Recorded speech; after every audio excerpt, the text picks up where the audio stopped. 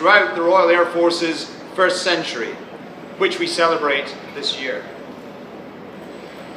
A partnership between the Royal Air Force and the United States Air Force, which is right now being demonstrated by our aircrew as they fly and fight alongside each other in the skies over Syria, Iraq, Afghanistan, and many places besides.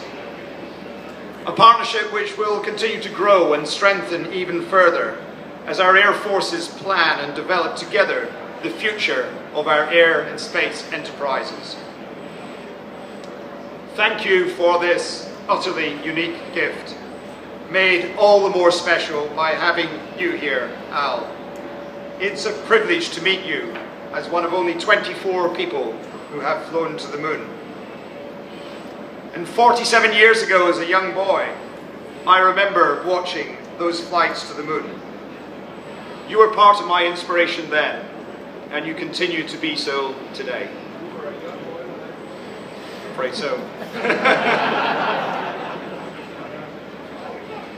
now, of course, what's just been uh, mentioned is that Captain Worden attended the Empire Test Pilot School in the United Kingdom in 1964. I have reviewed his report.